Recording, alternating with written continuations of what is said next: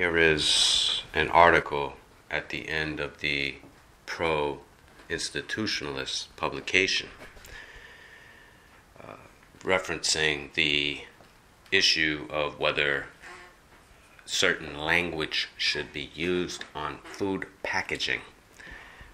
A major 2018 report by the Intergovernmental Panel on Climate Change blamed animal products for three quarters of food related greenhouse gas emissions, according to this article. So basically, they're saying that um, the farming industry is the cause of the demise of the planet, including the extinction of its species. So the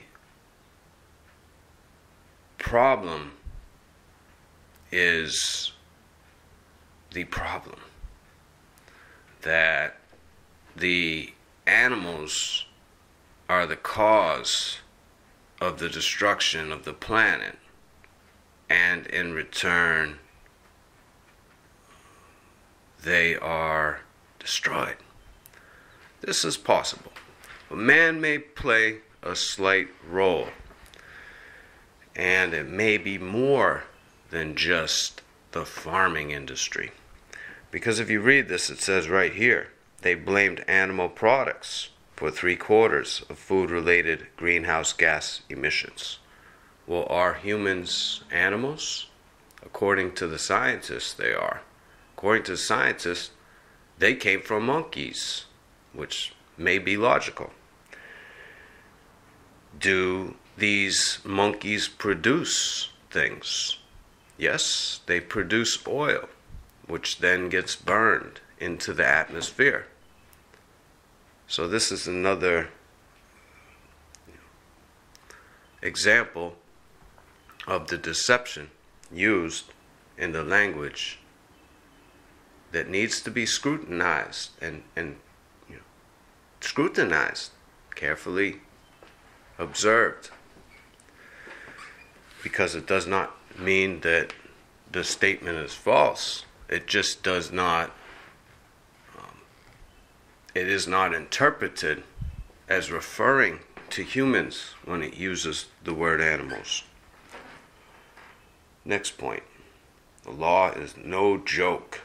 You can receive a 2000 fine and spend up to a year.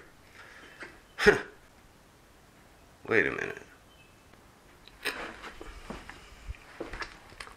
A $2,000 fine up to a year? That's a misdemeanor. A few months after the measure was signed in June, free speech advocates and vegans teamed up to fight it. Free speech advocates and vegans. So, they're referencing these lawyers as heroes. Heroes. They, they then say uh, that this is they're fighting it on the grounds of the First Amendment. So they think the labeling the food packaging is their right under the First Amendment. You can't go to state college and read from the Bible. Let me tell you. But you can tell somebody something is real when it's not. That's what they're trying to say. Now, we should have reason to believe that they will win. Because remember, the democracy is what is known as common law.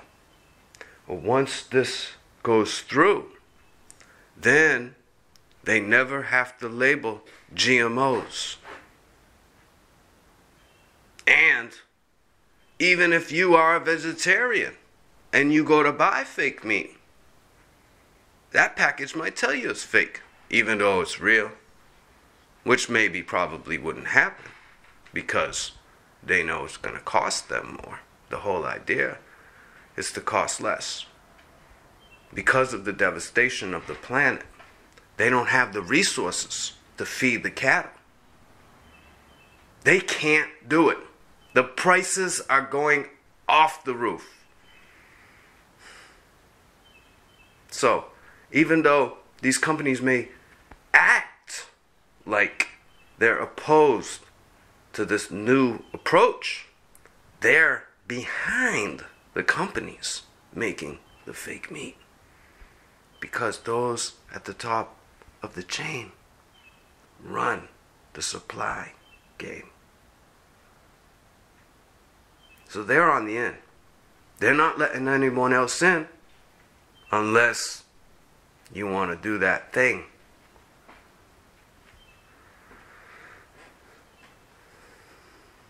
And they're going to run it. The last bit of this article says the law is a solution to a non existent problem. This is really about the government trying to control the words used to favor in industry. Talking about the meat industry. So, this article's for these so called free speech and vegans. Ain't no doubt. You know, when they re- read, re- write these articles, you want to know which side they are? Read the last paragraph. Read the last paragraph. Even on the, the news, the British Bull. If you want to know what it's about, save yourself an hour or half an hour and just listen to the end of it. Skip the rest. This uh, ACLU attorney, the ACLU, and wasn't the ACLU the ones that were supposed to be fighting for free speech? Now it gets even more sketchy. It says the statute's champions say the law is meant to protect consumers from confusion. ACLU is skeptical. No one who gets a veggie burger and bites into it is surprised when it's not slaughtered animal meat. What did he just say? He said that people are already able to distinguish what's real and fake. Well, if people are already able to distinguish, then there would be no need for a labeling or a regulation of labeling because people can already tell. But he's supposed to be for the statute which regulates labeling. So his statement is just backwards. And that in itself is the confusion. When they like to sell something, they bring on an opposed viewpoint. And then they tell that person what to say.